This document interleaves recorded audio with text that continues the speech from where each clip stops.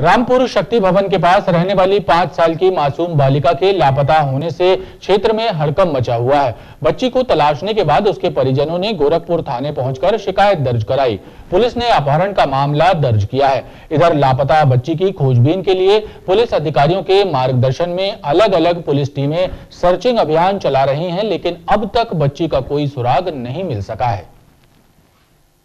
रामपुर शक्ति भवन के समीप रहने वाली पाँच वर्ष की एक मासूम बालिका रविवार की दोपहर दो बजे से तीन बजे के बीच घर के सामने से लापता हो गई।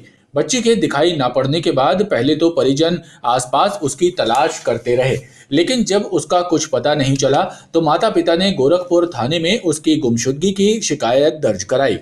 पुलिस ने इस मामले में अपहरण का मामला दर्ज किया है।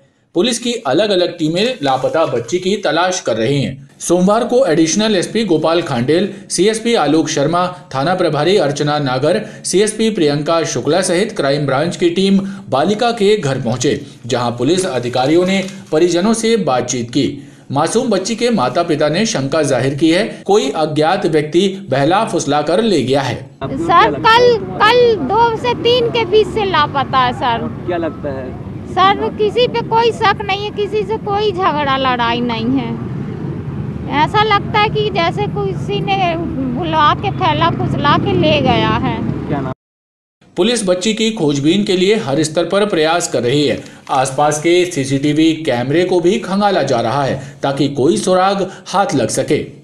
हमारी सभी टीमें यहाँ पर लगातार बच्ची की तलाश में लगी हुई हैं और कोशिश कर रहे हैं कि जितनी जल्दी हो सके बच्ची दस्तियाब हो जाए पुलिस इस संबंध में आसपास के लोगों से पूछताछ भी कर रही है। इसके अलावा बस स्टैंड, रेलवे स्टेशन और बाईपास पर भी बच्ची की खोजबीन और पतासाजी के लिए पुलिस टीमों को एक्टिव किया गया है।